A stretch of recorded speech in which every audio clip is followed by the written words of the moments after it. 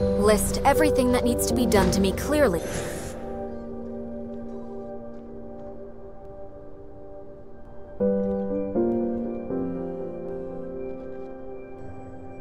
Many times that I'm neither a model nor an idol.